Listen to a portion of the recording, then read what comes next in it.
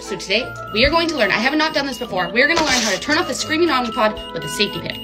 Normally, oh my god, my treadmills, there's too many sounds going. Normally, I can use, I'm sitting on it right now, so it's quiet PDM to turn off the uh, screaming.